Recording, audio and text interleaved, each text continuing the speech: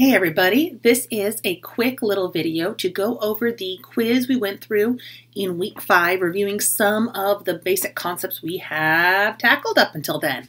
Um, so I'm going to go over it with you a little bit quickly and then we'll do a little bit of graphing towards the end. So let's go ahead and open up the quiz and take a look. Okay. So here we have the quiz and the first few questions are multiple choice. First, which of the following is not one of the reasons education requires government intervention? And this is tricky because government intervention is required for education for a lot of reasons. It doesn't behave like a perfectly competitive market across a lot of dimensions. Um, it generates positive externalities. It is subject to information asymmetries. There are barriers to entry. There are monopoly effects. Um, there's a lot going on.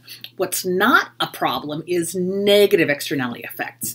So if we're looking for one of these reasons that's not a reason for government intervention, it's going to be this one, that it uh, generates negative externalities because that is not true. So A. Uh, the next question asks, in the United States, K through 12 education is more likely to be public, private, private but not for profit, or it's impossible to tell. And if you went through K through 12 education in the US, then this is a little bit easier because you're probably familiar with it, but we did talk about this in the class. K through 12 education in the US tends to be public, which means it's publicly funded, uh, not private and not for profit. Which of the following is an example of a resource-based education policy? Uh, if you don't remember, resource-based education policies are basically looking at shifting out the PPF, right? Just increasing resources generally, not something specific to, say, an outcome or anything like that. So, of these options, incentives for teachers teaching well, uh, access to technology, and giving grants for graduating, those are all altering incentives and the production function. Only increasing school budgets is a pure resource based solution. And then the last multiple choice question, which of the following is an index and not a signal? Remember, both indexes or indices and signals give employers and other agents information, um, but an index is difficult to change, whereas a signal is easy to change. So, education, speaking multiple languages, how a person dresses, those are all signals that are very easily changeable. Being tall is an index because you can't change it, but there might be some employers and other actors who believe that there are traits tied to tallness. Okay? Um, and then the last question in a sentence or two, explain why we should care about the returns to education and whether they come from human capital or signaling theory. And there's two main reasons here, and one we're going to graph. Uh, the first is we care because it's going to have an effect on how we educate, and it's going to affect on whether we subsidize education or not. So if it's human capital, we care what we're teaching people because we're making them more productive through what we teach them. Whereas if it's signaling theory, it doesn't matter what a person loves or I'm sorry, learns, so long as they get that signal. And then if it's human capital theory, then education makes everybody more successful and it's a positive externality good. Whereas if it's signaling theory, um, then all the returns to education are private and there's not a rationale for government subsidy. So let's go ahead and graph that and we can talk about it a little more.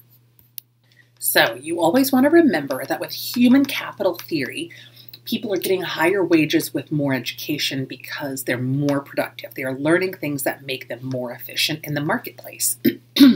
so that means we care what we're teaching them because what we teach them is what makes them more productive.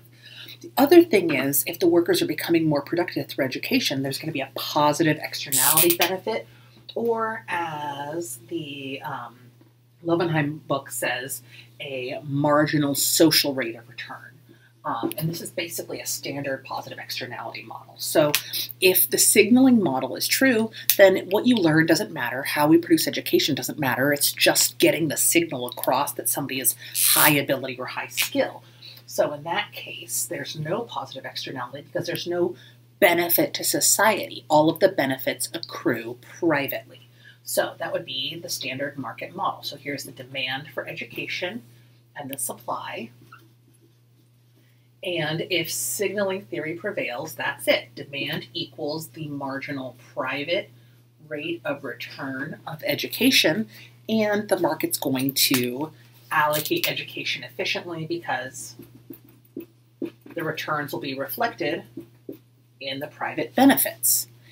If, however, the human capital model prevails, then it's not just the benefits to the individual that accrue through education, but it's also the person learning things that make them more efficient, more productive for society. And then it's not just private benefits, there's a marginal social rate of return, which includes the private.